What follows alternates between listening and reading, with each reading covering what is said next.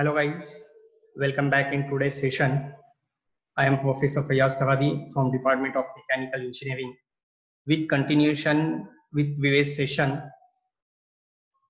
in this session we are going to solve the numericals on differential in an automobile from the unit gear train from theory of machine subject. So before starting the numerical on differential, first we have to clearly understand what are the sign conventions which are used in differential unit while solving the numericals. The bevel gears which are mounted on same or parallel axis and connected by an intermediate gear will rotate in opposite direction. That point you have to clearly understand while solving the numericals. The bevel gears which are mounted on same or parallel axis. See, this bevel gear in this figure, this bevel gear A is mounted on input shaft and this bevel gear F, bevel gear F is mounted on output shaft.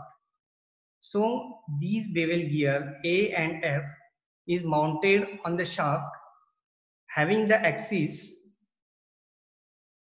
parallel to each other or we can say these two axes are coaxial. This coaxial or we can say the parallel axis. At the same time, these two gears A and F is connected by B gear and B and E is compound gear. That means that two gears A and E are connected with each other by an intermediate gear B. So these two gear A and F will rotate in opposite direction or A gear and the C gear is mounted on parallel axis. This is parallel axis or coaxial axis. Coaxial. These two axes are coaxial. The axis of output shaft and axis of input shaft are coaxial. So when these two gears A and C are mounted on coaxial axis or parallel axis. At the same time it is connected by an intermediate gear B so the rotation of A and C is opposite opposite.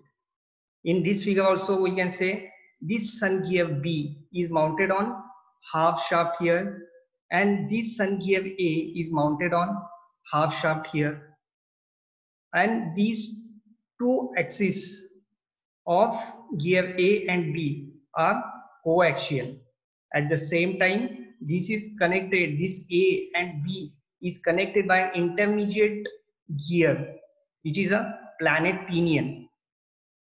Okay, when these two conditions are satisfying, these two gears are mounted on parallel axis or coaxial shaft at the same time, these two gears are connected by an intermediate bevel gear.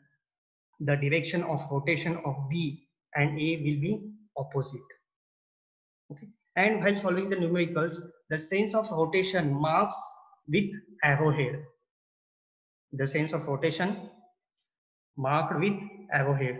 When A is rotating clockwise direction, when you see from right, the indication of this rotation is shown the arrow which is moving upward direction. At the same time, this F, this F you have to show by downward direction. When A is upward direction, rotation of F is you will show by downward direction. At the same time, A is moving upward direction. The rotation is clockwise when you see from right. So the arrowhead is going upward direction. At the same time, CV is moving opposite direction and the arrowhead will go downward direction. The same uh, arrowhead, uh, arrowhead is shown here. When B is moving downward direction, A is moving upward direction. That point you have to understand by solving the numerical. Now come to the uh, problem statement.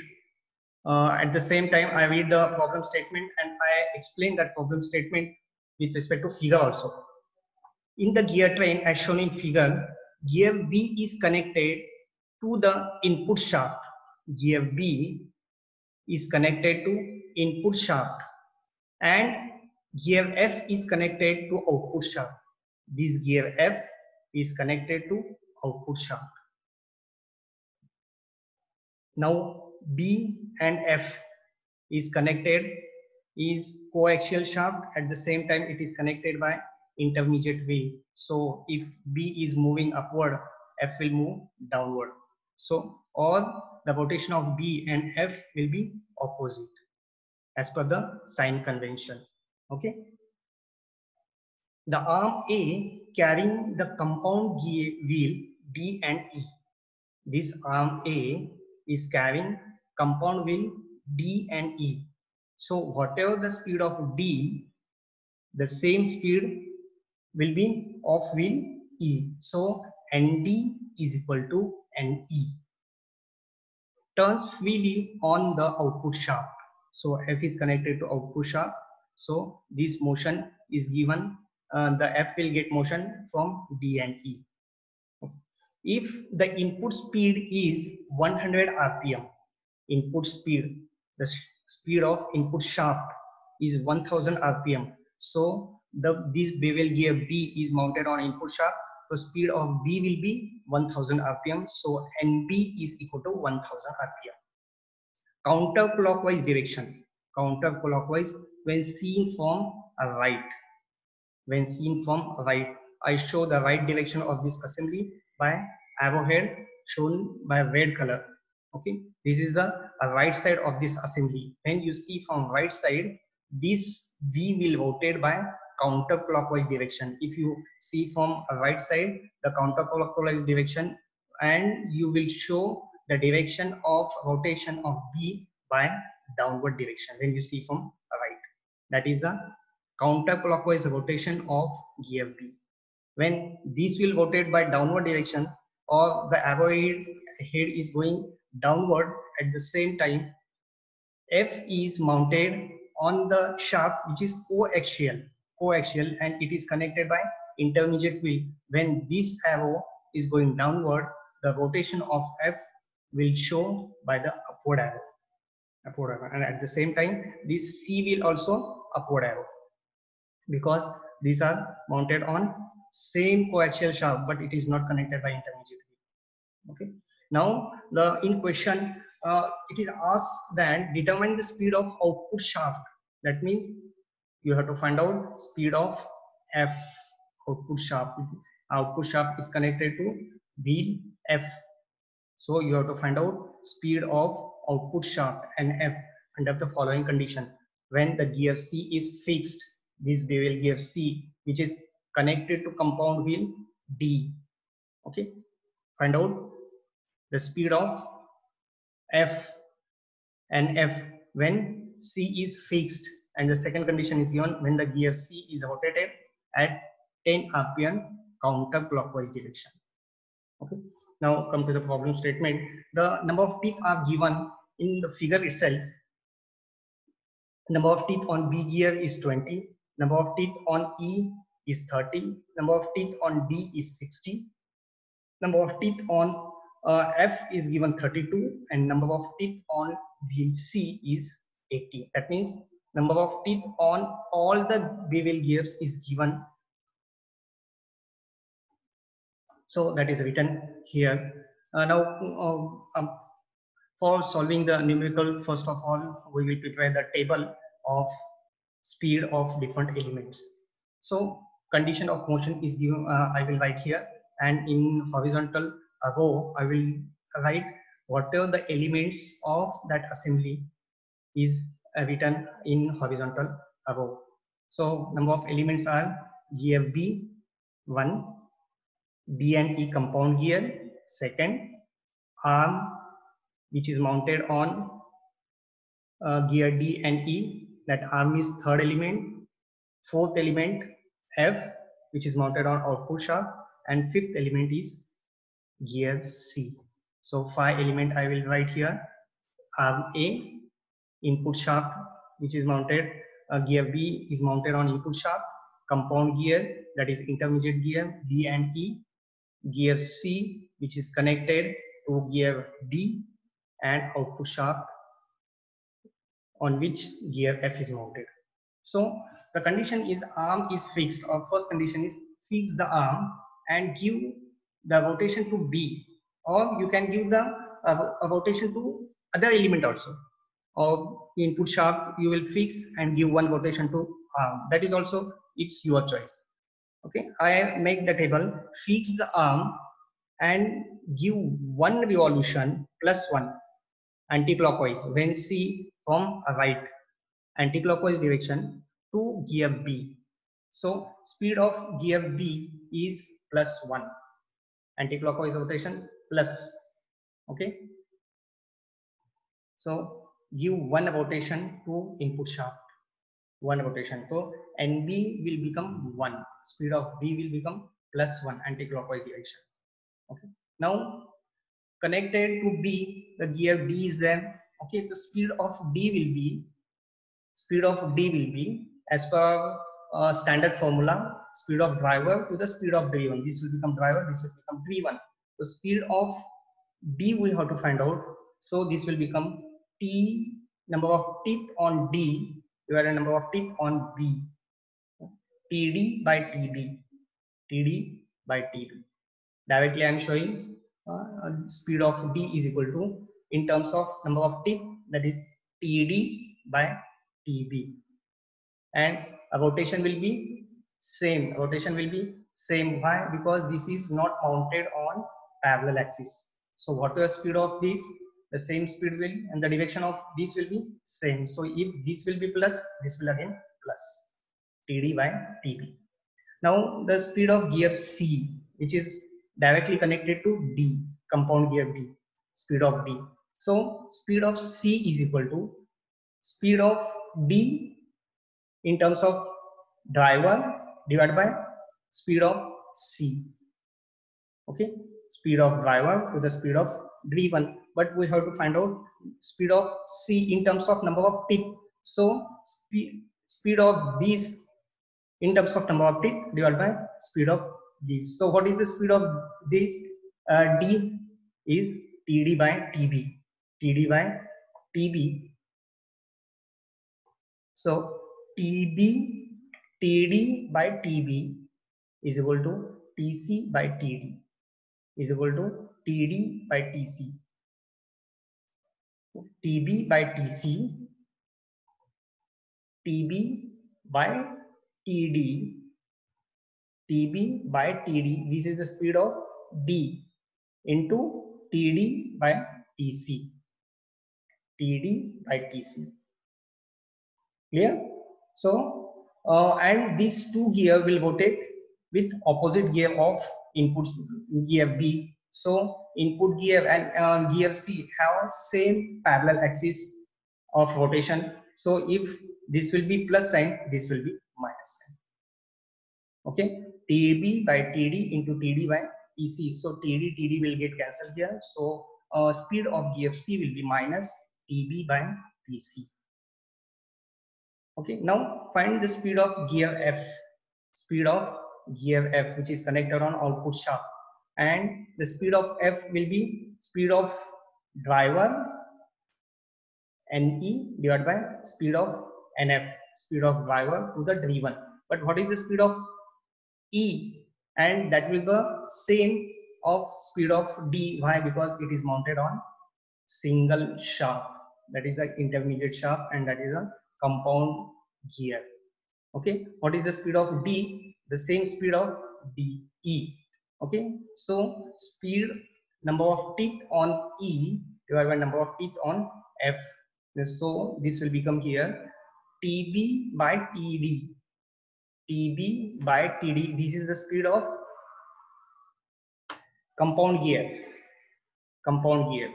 Td by tb TD by TB. The same I will write here into TE by TF into TE by TF.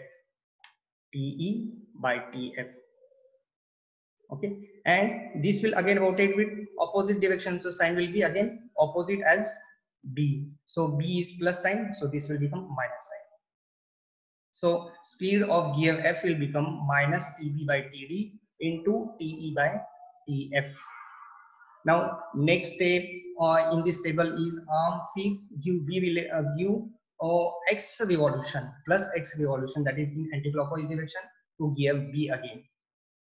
Okay, so um, multiply x to all these elements. So this will become 0 plus x uh, plus x td by tb minus x tb by tc minus x tb te divided by td tf. Third step, add y revolutions to all the elements. So I will write y revolution to all the elements. Now fourth step is addition of uh, step 2 and step 3. This will become plus y. This will become x plus y. This will become y plus x td by tb this will become y minus x tb by tc and last one y minus x y minus x tb te divided by TDTF. don't make mistake in finding the speed of this this in first of all. Okay? After completing the table the question which is asked in, in, the numerical is find the speed of output shaft. Speed of output shaft nf we have to find out when gear c is fixed. When gear c is fixed that means speed of c is zero what is the speed of c what is the speed of c this y minus x tb by tc that will become zero y minus x tb by tc is equal to zero or y minus x putting the value of tb and tc this will become y minus 0.25x is equal to 0. This will become equation number 1. Why? Because x is unknown, y is unknown. But uh, input speed, input uh, speed of gear B is given 1000 rpm. 1000 rpm. This speed of B is given, speed of B and B is equal to 1 1000 rpm. So what is the speed of B? x plus y. So x plus y is equal to 1000. x plus y is equal to 1000. This will become equation number 2. By simplifying the putting the values of x or y in equation number 1 in equation number and by solving uh, equation 1 and 2 we will get here value of x is equal to plus 800 and value of y is equal to plus 200. Now putting the values of x and y in equation this speed of output shaft that is nf and f speed of f y minus x tbte divided by tdtf putting the values of x, x and y and putting the values of number of teeth of will be e d and f b d e and f after solving uh, simplifying this equation solving the equation we are getting the value of speed of output shaft is 12.5 rpm rpm the plus sign we are getting here plus sign. So plus sign is um, speed of gear b. And what is the speed of gear b? Downward direction. So this will again plus that means it is moving again same direction as that b as that b counterclockwise. Okay? From looking from the right it is rotating clock uh, anti-clockwise direction counterclockwise direction. So f will again rotate in counterclockwise direction same direction. Okay? Now come to the second uh, second uh, question which is asked in the same um, problem statement. Speed of output shaft when gear c is rotating at 10 rpm counterclockwise. Speed of output shaft that means an f again you have to find out an f speed of output shaft when c is making 10 rpm c. This is c. Y minus x TB by TC is equal to 10 RPM counterclockwise. Counterclockwise that means plus sign. Okay, y minus x TB by TC is equal to 10 or y minus x is equal to 20 divided by 80 is equal to 10 after simplifying y minus 0.25x is equal to 10 we are getting here. Okay. Uh, after uh, simplifying equation number 3 and this equation number 2 x plus y we have already found out value of x plus y is equal to uh, 800 and 200 of x plus so x and y respectively. So putting the values of x and y here, x and y from equation 2 and 3. This 2 and 3, we are getting the values of x plus y in this equation. x is equal to 792 and y is equal to 208.